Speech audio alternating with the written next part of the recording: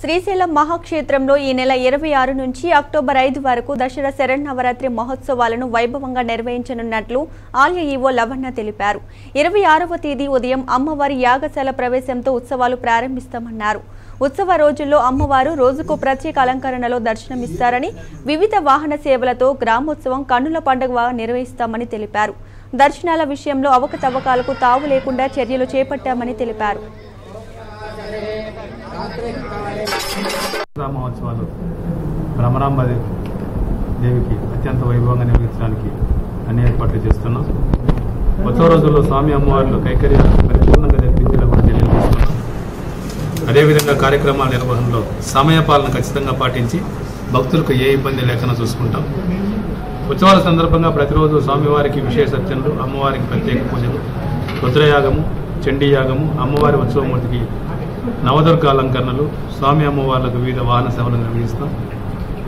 September ఇరవై ఆరో తేదీ ఉదయం ఎనిమిదిన్నర గంటలకు అమ్మవారి ఆలయ యాగశాల ప్రవేశంతో ఉత్సవాలు ప్రారంభించబడతాయి. ఆశీస్సులు పొందాలని చెప్పేసి కోరుకుంటున్నాము ఆలయం తరఫున అలాగే ఈ మధ్య రేట్లన్నీ పెంచేసినారు అని ఒక నానుడి. ఎందుకంటే ఇంతకుముందు సిస్టమేటిక్గా లేని ఆలయంలో దర్శన వేనాలు కానీ లేకపోతే టికెట్ లేకన్నా దర్శనాలు చేసుకోవడం కానీ ఎక్కువగా ఉన్నాయి. నేను వచ్చిన తర్వాత స్వామి అమ్మవార్లు దేవాలయానికి ఆదాయం రాకపోతే మనం నడపలేం కాబట్టి ఎక్కడా టికెట్ రేట్లు పెంచలేదు. ఉన్న రేట్లను కరోనా టైంలో ఆపేసినటువంటి సేవలన్నింటినీ కూడా మళ్ళీ పునరుద్ధరించడం జరిగింది.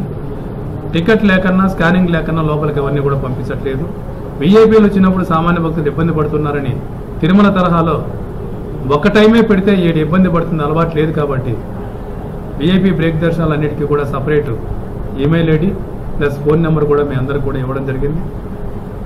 వాటికి రెండు రోజుల ముందే లెటర్లు పంపిస్తే వాళ్ళందరికీ కూడా morning five thirty to six fifteen అలాగే ఆఫ్టర్నూన్ పదకొండు నలభై ఐదు నుంచి పన్నెండు సాయంకాలం ఏడు నుంచి ఏడున్నర వరకు వాళ్ళకు సులభ దర్శనము విఐపి బ్రేక్ దర్శనం కూడా కల్పించడం జరుగుతోంది. ఇది అందరూ కూడా ఉపయోగించుకోవాలి? కొత్తగా పెట్టిన సేవలు ట్రస్ట్ బోర్డు